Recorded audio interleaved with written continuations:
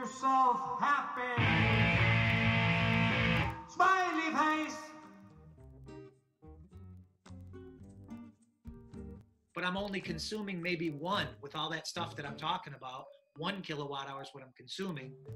Those other four are going into the grid right now. Where are they going, Jon? Where's those other four kilowatt hours going? They're going to your neighbor's house. They're going to uh, McDonald's down the street. They're going wherever, but they're going onto the grid. But you're getting credits on your account that you can use. Make yourself happy.